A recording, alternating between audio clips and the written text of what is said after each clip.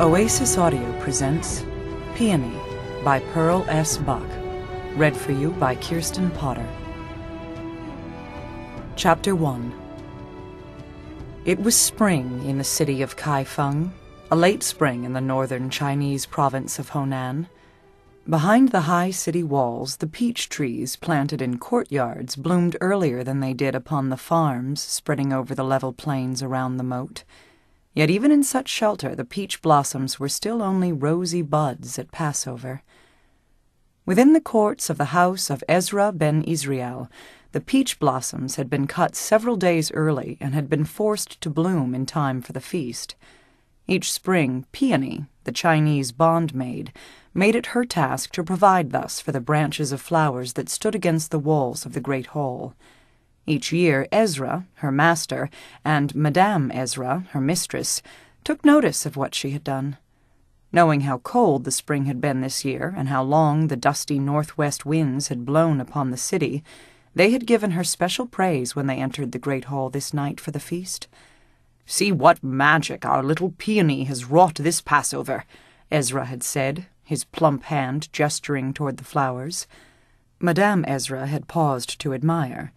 Her impetuous look grew kind.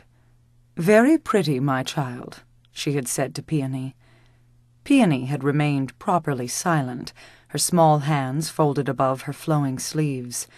David's eyes she met and avoided as he smiled, but Leah's warm smile she accepted, answering it with a small quiver of her lips. The old rabbi had given no sign.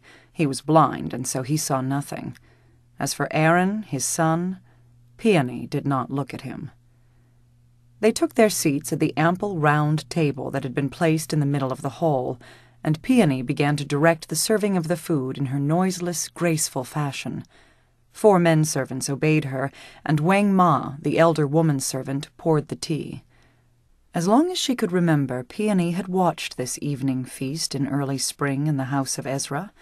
She had directed the placing of every dish and utensil upon the table, and the servants had obeyed her because she knew, as well as though she had been a daughter in the house, exactly where each dish was to be found and each placed. The dishes were kept the year round, unused except for this night before Passover.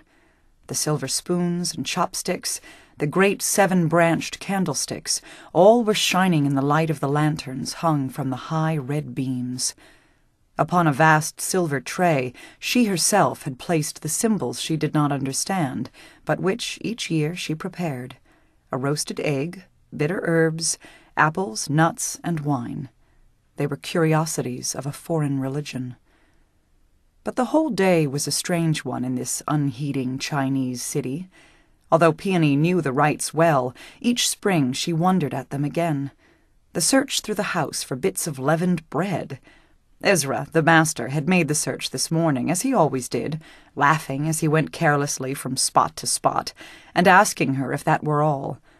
Madame Ezra used always to hide the bits of leavened bread for him to find, but now for several years she had let Peony do it, and Ezra had commanded her to count the bits so that he would know when he was finished. He made a joke of it, as though he were somewhat ashamed before the servants.